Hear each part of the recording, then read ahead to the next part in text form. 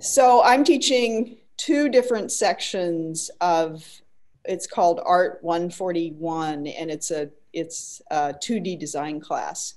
And the name is actually surface space time. So we cover those principles and elements of 2D design in the class. And this semester, with the COVID 19 situation and um, everything that's going on with the climate crisis and the ongoing um, involvement with the Eco Arts Project, because um, I, I worked with students last semester as well on, on, um, on this project for Bigelow Labs. And um, so I decided that I would just sort of throw everything out that I normally do. And by that, I mean just the normal assignments. Um, I'll still be covering the same elements and principles of design in the class, but we're going to do so by um, looking at the theme of uh, the eco, you know, looking at the Eco Arts Project and then sort of honing in on plankton imagery uh, as our contribution to the project. So basically, for the entire semester, the students are studying uh, common Maine plankton and phytoplankton. And uh, our first thing, you know, one of the things that we've looked at is the tiny giant slideshow that was provided through Anna by, you know, by Bigelow Labs and um, it's it's a fairly straightforward thing we're doing right now. We're using the the actual imagery as a um, structure or substrate to um, apply different color uh, combinations. So we're studying color theory, and uh, like we've gone over things like the terms abstraction and non-objective and looked at artists like um, Matisse and and the um, you know impressionists and uh, Fauve painters and things like that. So uh, thinking about the idea of you can take something as a point of departure, as in a plankton image, and colorize it in different ways, um, so that you're not being sort of true to naturalistic color, but you're kind of opening up, opening it up to interpretation and okay. and also as a way to study color theory so that's what we're doing so far and as the and then you know these are hand painted with gouache and then we've gone into the computer lab and uh, extracted some of the images from the painted gouache pieces and manipulated them using a free software program called gimp. And that's kind of the uh, free um, open source version of photoshop. And so I think they did really well with that. And, and then we got a color guide um, for the exhibition, which is going to be really helpful because we can actually use the CMYK codes to, you know, get the actual colors that are being used. Um, or sample colors from that, um, the palette there. And so as we move uh, more into the semester, I'm going to, you know, the assignments will open up a little more for them to um, uh, be um, experiment with some different kinds of ideas and also work with this color palette more. Um, so uh, after meeting with Anna and Chris, the exhibition designer, um, a lot of ideas came up about how these kinds of plankton images and patterns could be integrated with the exhibition through different printmaking techniques. So I'm excited about that. The students seem to be excited about it. And, um, you know, the more information we can feed them about ocean studies and plankton and climate change and um, with um, your work, Carter, you know, to expose them to different, what different artists are doing, um, the more we can do that way it, it is the better. So Jan, that's great what you were saying. I think there'll be um, a lot of overlaps with the work that I'll share, um, particularly with with the work I've done with Bigelow, um, and how I've done a similar thing to what you're doing with your class, where you're sort of taking, you know, science-inspired imagery. Um, in my case, it's a little bit more uh, down the line. It's not so directly like phytoplankton or diatoms, um, and sort of non-objectifying them um, adding my own color and so on and so forth. So um, this is great. Uh, I, by the way, I'm Carter Shappy. Um, I'm a visual artist, printmaker, um, art handler, a little bit of everything here and there. Um, I graduated from Maine College of Art in 2015, and I've been here in Portland uh, working ever since. Um, just a little bit of my background. Prior to that, I was a, I was a, uh, um, graduated high school and uh, ended up at community college because I wasn't sure what I wanted to do, um, and took my time to figure out that it was art that I wanted to pursue. So ended up taking about a year and a half at community college and then transferring to MECA and uh, finding printmaking there and falling in love with printmaking and uh, pursuing that all the way through. So I am still doing that today, mostly for my my fine art work. Um, and so when I when I graduated, uh, the question became became what do I want to do with this? You know, what what pursuit do I want to take?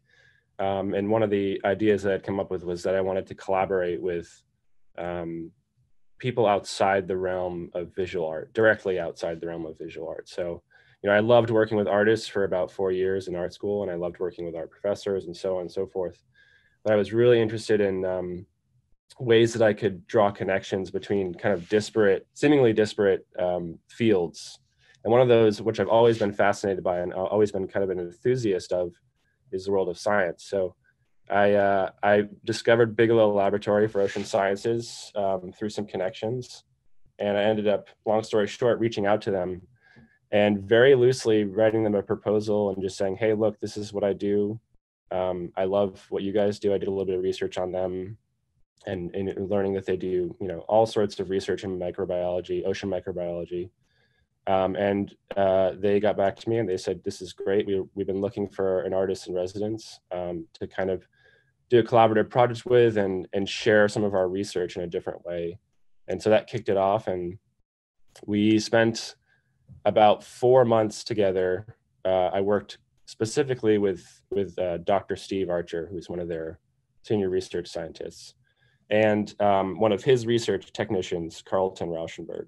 Um, so I spent four months there, and I, our day to day was basically all over the place. But I would shadow them um, sometimes in the laboratory with them, sometimes with uh, you know their their um, their PhD students, um, postdoc students, uh, and just kind of observing their daily routines as scientists, as research scientists.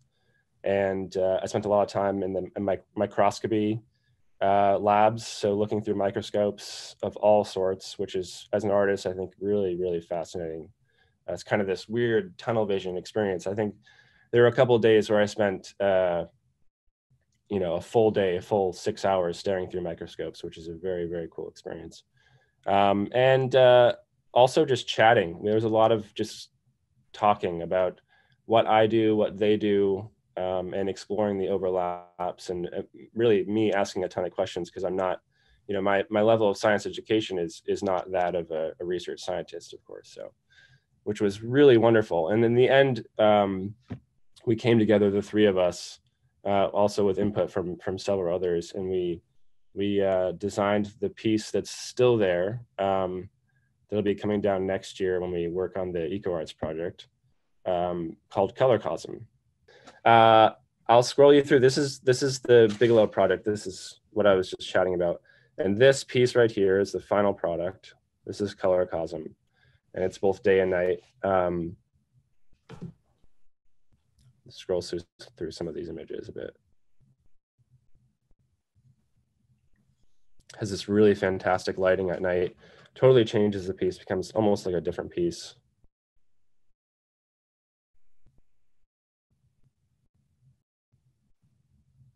Some day shots as well. So this is made of uh, a, a, sanded like graphics plastic that's meant particularly for printing on. Um, there's a lot of plastic that they use, uh, interestingly, in their work because it's a durable material. Uh, and, and overall, the piece borrows its shape from, if I can do this really quickly.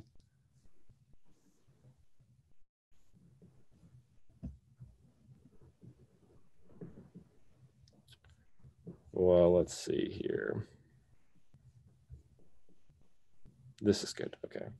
So this is a this is if you can see this device here. Oops, sorry.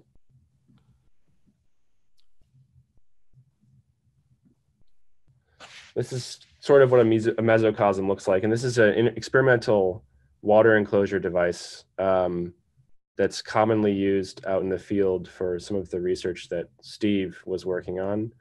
Um, and essentially what it is is a long tube, a long like cylindrical shaft that's uh, it's a flexible um, impermeable membrane that's suspended in open ocean water. So they're um, sometimes a hundred plus feet long. They're they're massive. They're lowered into the water and they're held up by these buoyancy structures on the top. So they they kind of hang there while the bottom is suspended. And um, open air can get to the surface. So it kind of imitates a little sliver of water column um, as it is in open ocean. So it's, it's both experimental and kind of field research. And uh, what they are able to do is manipulate certain conditions in the water in that partic- particular sliver of, of uh, water that they've, you know, kind of sectioned off. And in this case with, with Dr. Steve Archer, they were um, basically they were increasing the acidity to projected ocean acidity levels um, as the ocean keeps uh, getting more acidic, which we know is happening, and seeing how the biology responds. And, and even more so in this case, they were looking at uh, how the phytoplankton and other uh, smaller, even microscopic uh, organisms respond to this ocean acidity. And even more, to that, they were looking at this particular gas that they produce um, called uh, dimethyl sulfide and um, seeing how this increased acidity affects their production of that gas. And um, that gas is special because it's a constant exchange between the life in the ocean and the atmosphere.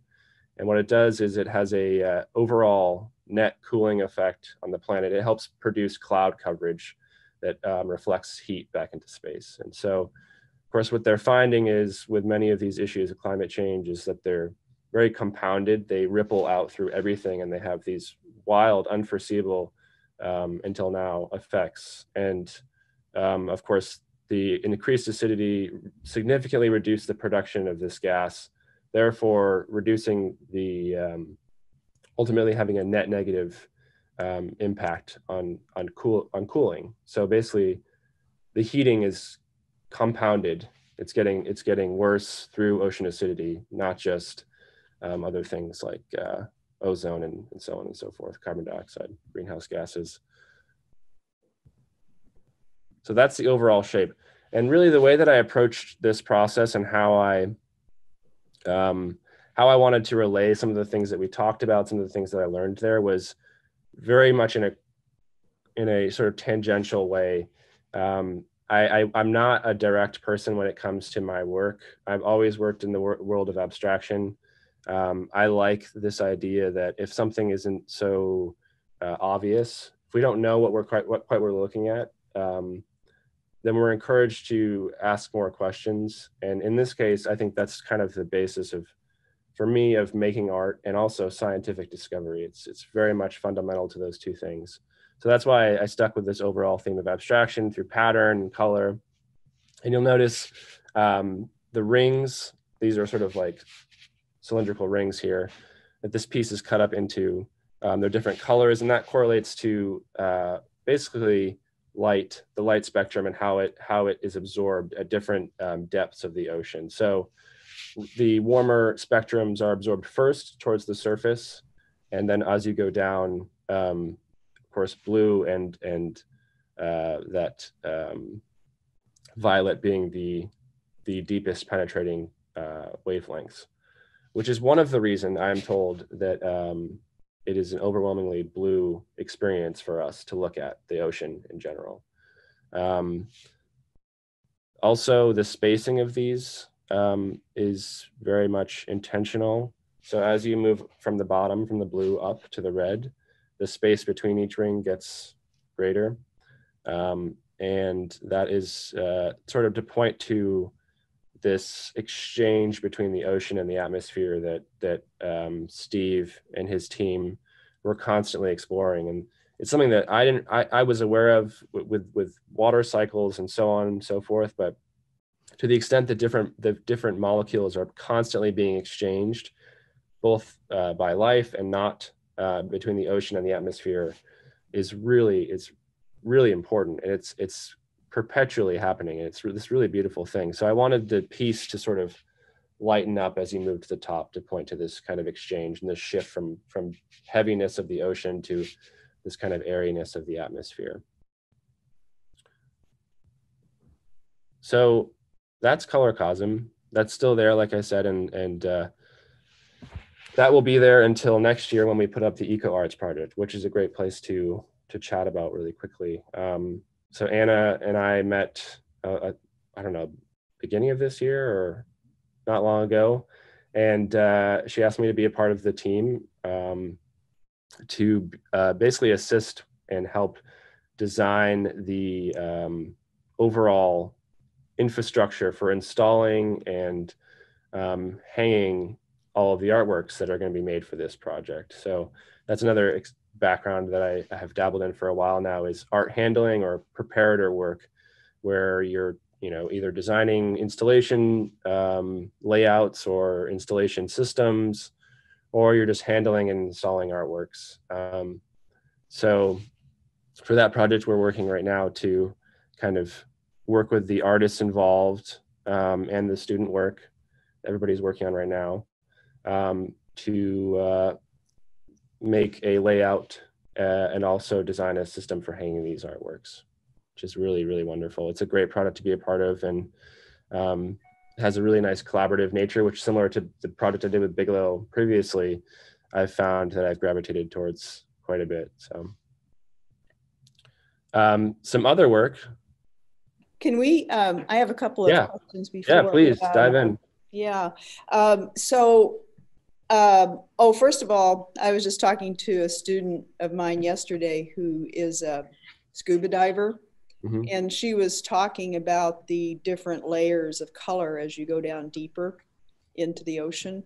And uh, this was just yesterday. So, you know, I'd love to share your work with her because I think she'd really, really appreciate it um, since she has this kind of experience of actually you know, seeing that. Yeah. And um, then the questions were in what sort of printmaking technique are you oh, using? Oh, yes. Yeah. So um, yeah, sorry, I glazed right over that. Uh, That's all right. I was just curious. There, um, the whole piece was uh, flat layers uh, originally, then they were seamed together to make rings.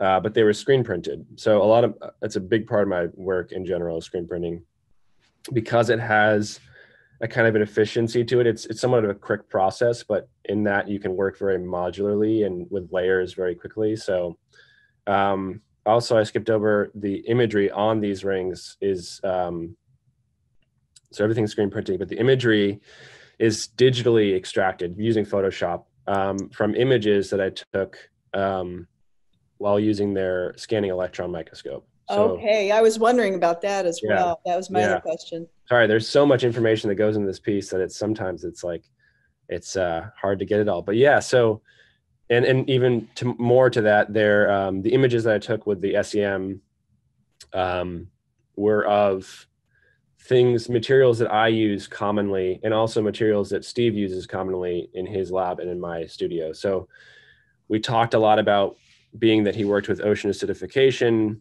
at the process of etching, which is also something that's um, another scientist is working on there, which is uh, um, was studying sort of the, the effect of increased acidity on shell bearing creatures. So calcium carbonate structures in the ocean, which are essentially etched over time. They reduce their structural integrity and they become more fragile. And, and so we, we were correlating that to, as is a, an artist thing to do, we were correlating, correlating that to, you know, my own work in, uh, with copper etching and, and working with acids on a, a common, common basis.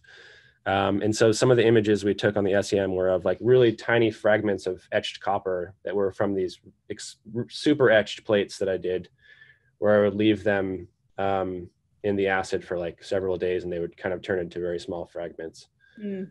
so they had these they created these really beautiful spaces which i'll show you Yeah, that's a great parallel between your your own process and the the kind of etching that goes on in the ocean. yeah yeah and you know i think um it was really great that that they were able to like entertain these these kind of parallels um they're not you know it's it's somewhat of a magical uh free thinking association that i've done as an artist but there was a really interesting overlap that i just couldn't help but explore. So and also using that S, the scanning electron microscope was by far one of the most interesting things that i did. I Yeah. i got it's a very frustrating machine to control. It's kind of like when you're having a dream and you're trying to run you know those dreams but you're on a treadmill kind of thing. It's very it's very much like that. It's you're constantly refining these dials and like trying to get a better image because you can sort of see on a on a on a little screen what you're doing as you're um, basically firing electrons at a um, a gold coated sample of something. In my case, it was copper. Um, and really quickly, actually, in the case of the copper, I didn't coat it with gold because it was already a metallic surface, so it was able to bounce back those electrons. But because I didn't coat it with gold, which is the standard for imaging, um, you get all this organic material that's on these samples that will actually cause the electrons to what they call flare up or charge up as they hit your sample and bounce back to the sensors. So that's what creates these little hot spots here that you see in these images. Um, and it, and I loved that. I actually ended up really liking that. It created this kind of theatrical lighting, and these these ended up being very like otherworldly, uh, kind of cosmic scenes. So um, there, there, that was fascinating. So what I did with the with the screen printing was I basically came in here and I pulled out, I pulled out solid shapes that I could use um, very modularly and similar to the way that you're using the the phytoplankton and diatoms and other things with your class. Uh, so I could use those in my in, in the larger piece and create like a textural component to it. Yeah. Let's go back to my homepage here. Um, so just really quickly, I won't dive into this too much, but just to, to let you know people know where where some of these ideas also fit in within the larger context of my work. This was a piece that I did for my undergraduate thesis, which is very much, I mean, coincidentally, because as you've heard, most of the stuff I did for Bigelow, that piece, Colorcosm, was very much inspired by the work they were doing here. But this shape is a reoccurring theme for me. So this is called the spiral. This is a piece that I did um, for my thesis, for my undergrad thesis. Um, and it, it- interesting enough, it has that similar shape, but it has nothing to do with any of that research. And this was using um, screen printing again. Uh, and this was kind of the capstone of a large body of work that I called the Ghost Gear series. And I still actually work on it sometimes. Um, and it's using uh, basically collected, found fishing industry waste that washes up in the beaches, but also other um, littered plastics and and things like that, films, bags, um, but mostly rope, bait bags, net, um, all this fishing industry waste. It's really really common here in the Gulf of Maine, um, and basically, I don't know if you're Jan. Have your students done any screen printing? Uh, they they Prior, maybe some of them. maybe some of them have, um, but I'm not sure. Uh, some of them are. They're not all art students. It's a. It's a also a, it's a uh, sort of a creative expression class for the core curriculum at USM. And Okay. then you know, so there are some art students though, and and but this is one of the foundation courses, so it's a beginning course. But a lot of them have maybe you know they have experience from high school. So uh, the short answer is I'm not sure. Okay. Well, I'll just uh, really quickly. Screen printing is like, uh, and actually, I, this is great. I can kind of show you. It um, it utilizes big screens. This is a screen. It's just a mono, basically like a monofilament uh, mesh that's stretched, that's stretched taut over a frame, and uh, in some way, a um, a stencil is made into that screen where there's open mesh and there's blocked mesh and you basically squeegee ink through that to create an image and so for this this work particularly you you know traditionally you would use a film of sorts like a film positive if you're if anybody's a photographer and has a photography you know that you use film negatives. In this case, you use film positives. Basically, it's just your image um, on a transparency, like an overhead transparency, if you think of it like that. But in this case, I actually use the materials um, as a film positive. So I'm getting this perfect silhouette of these materials, however I want to arrange them layer by layer. And so that's how these are printed. Um, similar to a lot of my work and very much a, a building up of layers. Uh, and um, I'm still working on this, this, this work. I have a couple pieces in my studio currently. I can get out of the way. There's a large piece right there. Um, so really quickly, uh, basically you would coat a screen, very thin layer of uh, what we call photo emulsion, emulsion. I'm terrible at saying that word for some reason. Um, and uh, you let it dry. It's a light sensitive coating. And then you would uh, basically have your screen and you'd put your materials flat up against the face of the screen and you would shoot light at the front of the screen or the, the sorry, the face. And where your materials were, in my case, my materials or your film positive would basically block out the light from hitting that coating um, only in those areas. And then what else, what else, whatever wasn't blocked out by the light turns hard, it hardens essentially. So then you wash it out, wash out the unhardened image area with a with a hose or, or you know um, power washer, and then you have open mesh, and you're just basically squeegeeing ink through um, with the with the squeegee. Um, I know that's I know that's kind of hard to imagine without having visuals, but um, if, it's if clear. It's it's great that you you know for you to go over the print printmaking process. And and, and, and another process. question is is this sorry to interrupt, but yeah. is is is this is this the the same support you use for the for the uh, um, Bigelow project? The the same material? This dome or this uh, this donut here? No, uh, this is this is different. This is different because this has a little um, and actually it's refined for the Bigelow one. I made it, it's a little bit more interesting and, and visually appealing, I think. This has like a slight um, contour that's cut into it so that the spiral can start itself. you can slide the material up into this. Uh, and for Bigelow, which I think you can see in one of the images, the, the hole where the light comes through is like tiered with different uh, circles. So it has this like um, concentric circle that are stepped up almost like a lens or an aperture um, and this isn't as refined as that. This, you know, undergrad. Is but, that an LED light or? Yeah, so it's a it's just a classic like up up what they call up lights in the industry or. Okay. Yeah. Yeah. Um, and for this, it was for this piece, it was color changing, so it was on a timer and it switched colors every so often. Oh, cool. And um, for Bigelow, it's a, a, a UV uh, violet uh, mm. specifically a UV violet. It's not pure UV, but it's like a UV. It's violet more on the UV wavelength side, um, and that was the only the choice for that was purely because I use UV light a lot, all and also because for Bigelow for the ColorCosm piece, it didn't desaturate the colors that I had printed. So that's one of the issues that can happen is if, if oh you, right. you know if you have uh, right green something that's green isn't really it's it's reflecting green light it's absorbing red light so if i was to you know shoot um, a bunch of red light at it only red light it would completely desaturate it and it would look completely different that's kind of a weird thing about light and, and yes. Uh, another weird parallel because i spend a lot of time in red light because it's a safe light that doesn't it doesn't um, harden uh, a lot of the printmaker photo sensitive materials that we use, similar to photographers. Mm. Hmm. There's so much information. I'm sorry. So at any point, keep asking questions. This is great. It's very helpful. Um, and uh, I think, you know, lastly, jump into some some newer work, which is a little bit more similar to Bigelow. It's a little bit more science inspired.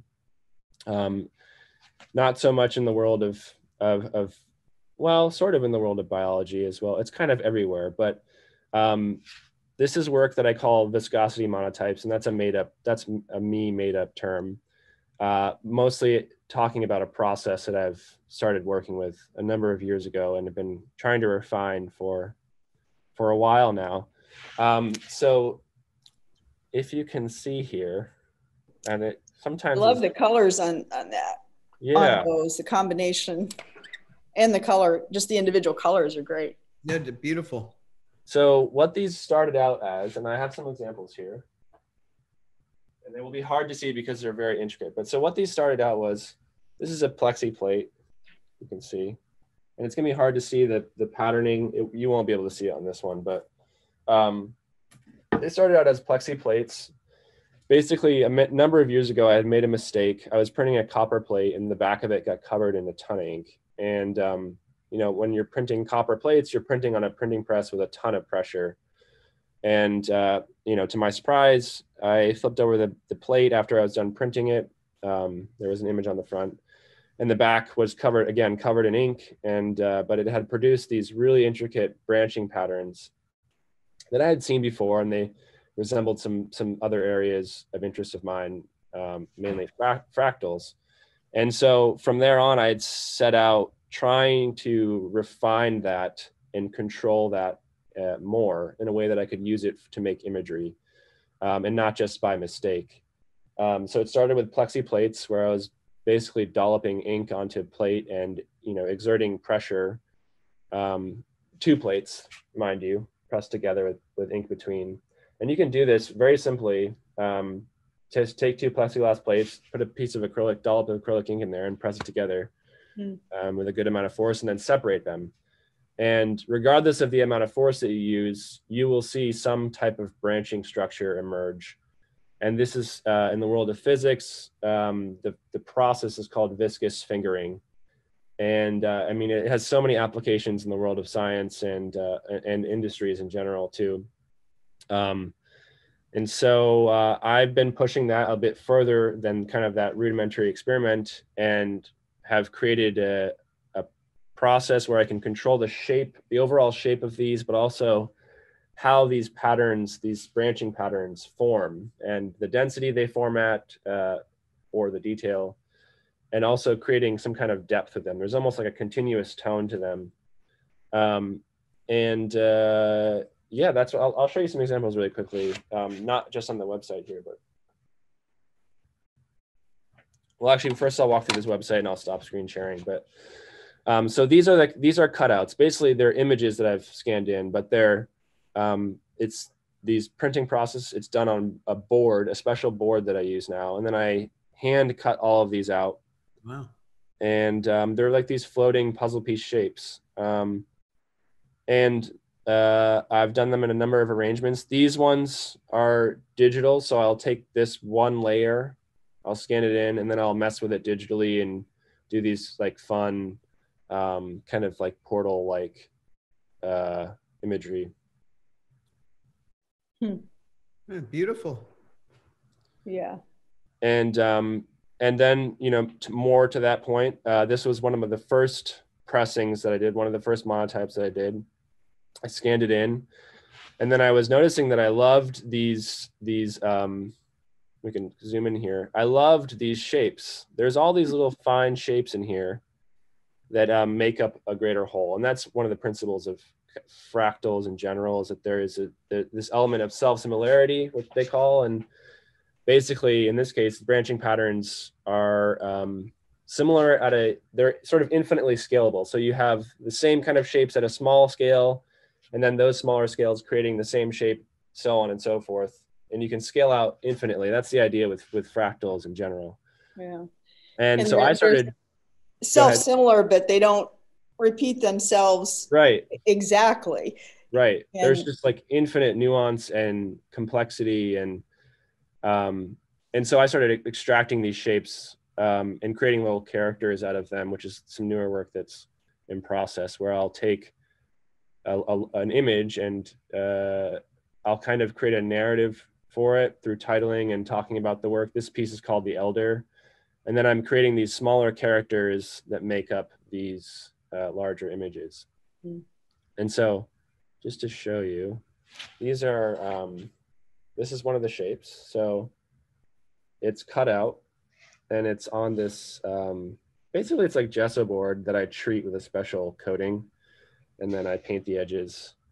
Um, and they're like these great little puzzle pieces and uh, that's a in progress uh, body of work that I'm hoping to finish this year. I have like hundreds of these now, and um, they will likely make up a large um, wall installation, kind of a specific arrangement of sorts. But the interesting point about that is that um, this imagery is, and, why I'm so interested in it is it's ubiquitous. It's throughout everything. I mean, it's um, it's the river deltas, the mountain ranges from satellite imagery that we see. It's uh, plant growth, whether that be um, you know kind of the veins on leaves or trees, root systems, mycelium. It's um, the way that on a smaller scale, when you're at the beach, that water, as the tide goes out, moves through the sand and leaves those beautiful little branching patterns.